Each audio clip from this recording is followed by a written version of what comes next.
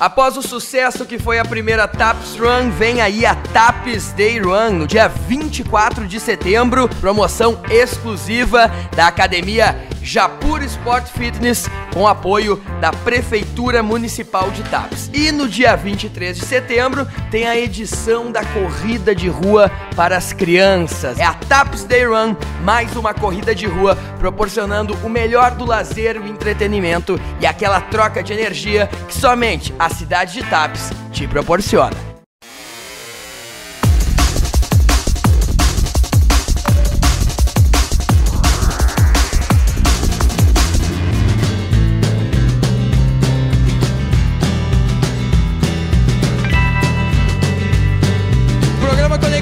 Hoje vai mostrar os melhores momentos do desfile do dia 7 de setembro.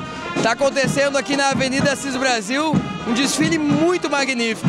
Neste momento a gente percebe aqui toda a transformação da banda municipal e ao fundo no palco as autoridades, representadas pelo prefeito municipal, prefeito Silvio Rafael, vice-prefeito Sérgio Maroco, diretora do Hospital Nossa Senhora do Carmo Neila Alves, também prefeito Sentinela do Sul se fazendo presente e esse aqui foi o momento de encerramento.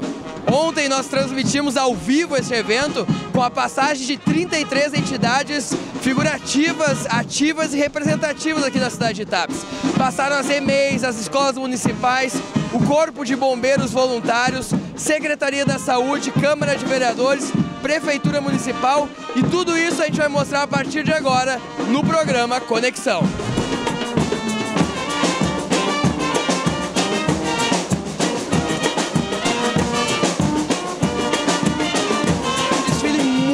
Lindo, casa cheia, Praça Rui Barbosa ficou cheia, o tempo ajudou e a gente teve aqui a grande manifestação cultural dos projetos que a cidade protagoniza, né, Débora? Boa tarde. Boa tarde.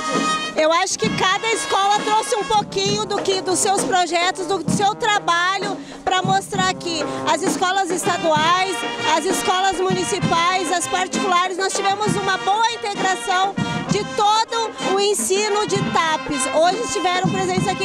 E os projetos de assistência social, que também nós somos parceiros, né? E as demais entidades que nós, são nossos parceiros sempre. Não, e foi legal também, né, Débora? Muitas pessoas não conheciam alguns outros projetos também da educação e da ciência social, como a escola de circo, projetos hortas comunitárias, que passaram por ali e ainda tiveram a oportunidade de fazer apresentações, uma espécie até de carnaval na avenida em pleno 7 de setembro, né? Sem dúvida. As crianças do balé, não sei se vocês chegaram sim, a assistir, sim, claro. muito bonitos. São projetos lindíssimos voltados às comunidades uh, escolares, eu devo dizer, e a comunidade em geral atendido pelos programas da assistência social. São projetos belíssimos, a Cláudia está de parabéns. As hortas hoje já não é mais assistência social, são os projetos, eu acredito, né? Educação e assistência social. Então, houve essa integração e quanto mais nós pudermos fortalecer essa integração, porque educação sozinha não faz nada. Programa Conexão de hoje transmitiu o desfile cívico do dia 7 de setembro. E o que foi mais bacana, prefeito Silvio Rafael, é ver as pessoas que não tiveram oportunidade, que saíram de TAPES ou que não estavam por alguma outra circunstância, participando, interagindo e conversando com as pessoas, o balanço que a gente tem, prefeito, é altamente positivo.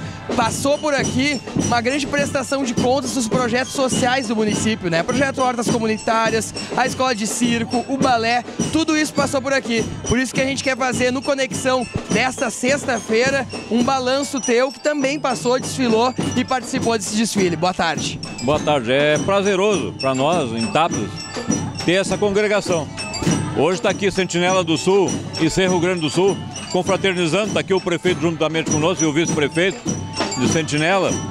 Eu entendo o Serginho, porque estava lá no, no, evento dele também, não pôde vir, mas a banda dele está aqui. Quer dizer, esse é o município de Tapes em si, o grande município que era antigamente e que está aqui é, configurado nessa representação. A gente pode fazer a diferença.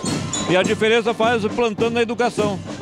Sem dúvida nenhuma, essas crianças daqui a algum tempo tu passou uma legião de crianças aqui, numa faixa etária de pequenininha ao grande, que, por sem dúvida nenhuma, tu pode perceber pela alegria delas que passaram aqui desfilando e participando dos programas que daqui a 10, 15 anos nós teremos um outro povo com a outra cabeça e está separando o lixo seco do orgânico, como eu sempre digo, prestando atenção na, nas coisas boas da vida, participando de esporte, participando de balé, participando de escola de circo, enfim. E isso que a gente pode fazer. Plantando para colher mais na frente, um plano a longo prazo.